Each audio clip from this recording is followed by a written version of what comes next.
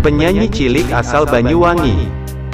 Jawa Timur, yang belakangan namanya tengah menjadi perbincangan publik yakni Farel Prayoga diketahui sedianya manggung di Bali pada tanggal 7 September tahun 2022 atau Rabu hari ini.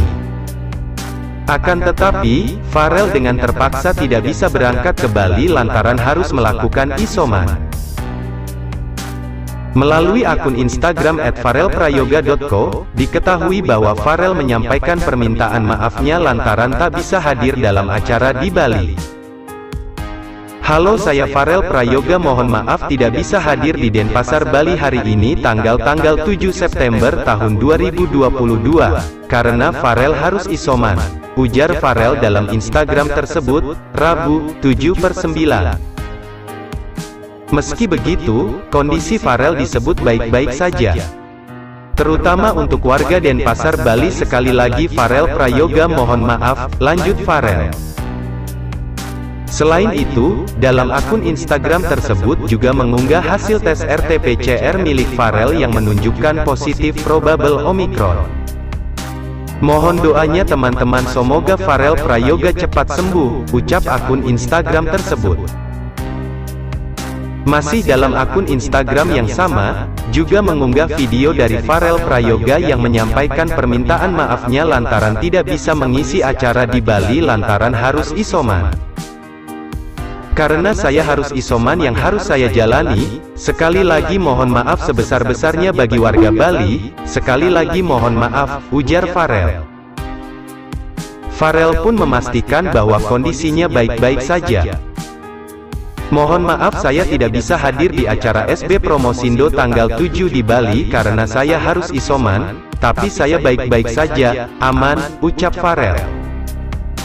Sebagaimana diketahui, Farel Prayoga merupakan penyanyi cilik yang namanya menjadi semakin dikenal usai berhasil membawakan lagu Ojo Dibandingke di Istana Negara. Jakarta saat perayaan HTRI ke-77 pada tanggal 17 Agustus tahun 2022 lalu. Di samping itu, Farel juga merupakan penyanyi cilik yang sangat berbakat dan memiliki suara yang merdu. Hal ini terbukti dari setiap karya yang dikeluarkannya selalu banjir pujian dan dinikmati masyarakat di pasaran. Ia bahkan dibanjiri pekerjaan alias job manggung di luar kota serta memiliki tarif yang fantastis. Pasalnya, penyanyi dangdut cilik asal Banyuwangi Farel Prayoga baru saja dikabarkan harus menjalani perawatan di ICU di sebuah rumah sakit di Jakarta.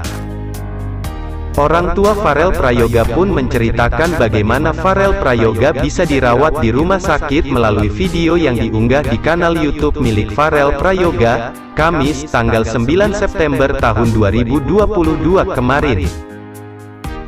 Farel Prayoga masuk rumah sakit karena biasanya kita cek kesehatan rutin tiap bulan sekali. Ternyata Farel Prayoga terjangkit virus corona berjenis Omicron dan kondisinya sekarang masih drop dan harus masuk ke ruangan ICU, ungkap orang tua Farel Prayoga. Dalam video tersebut tampak Farel Prayoga itu terbaring di atas kasur dan sedang diperiksa oleh dokter, serta di tangannya telah dipasang infus. Tampak di beberapa bagian tubuh Farel Prayoga juga dipasangkan alat-alat. Farel Prayoga pun terlihat pucat tertidur lemas saat para perawat memasangkan alat tersebut. Tak hanya itu, Farel Prayoga juga menjalani pemeriksaan dalam ruang MRI. Kendati demikian, Farel kini merasa bahwa kondisinya sudah membaik. Berikut